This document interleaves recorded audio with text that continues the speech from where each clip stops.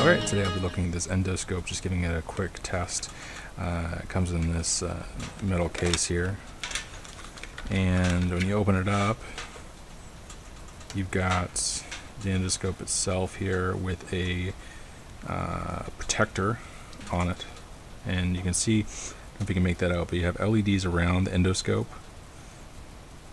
the camera right within, and then you, here you have a USB plug, which will plug into a uh, computer, or what I've been doing is pushing this down and you have a micro USB, which is really cool. So,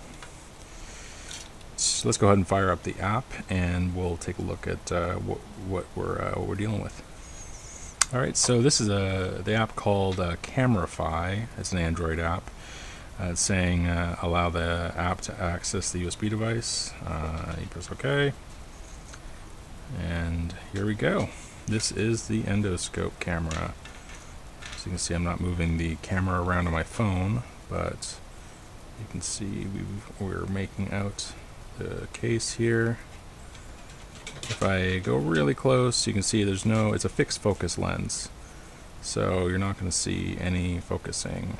But that's about the resolution you're going to get.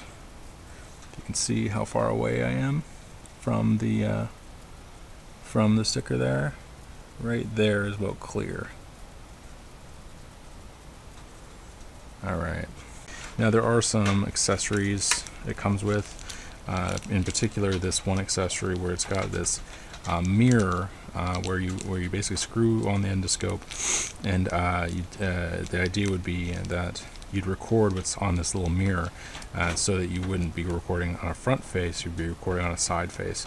Um, I, I, actually had mixed results with that. It was okay, however, uh, the mirror had to be really clean, and even then it was a little bit blurry. So I actually recommend, if you're going to get this endoscope, to just use the endoscope without the adapter.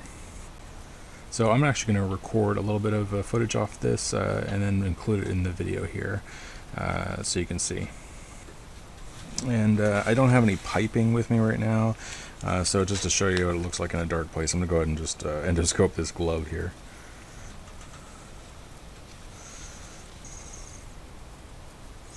So you can see it tends to get a little blurry when you get really close up. You do have a light focus it does change the uh, exposure it seems but the actual uh, focus itself does it's a fixed focus so not too bad. Not too bad.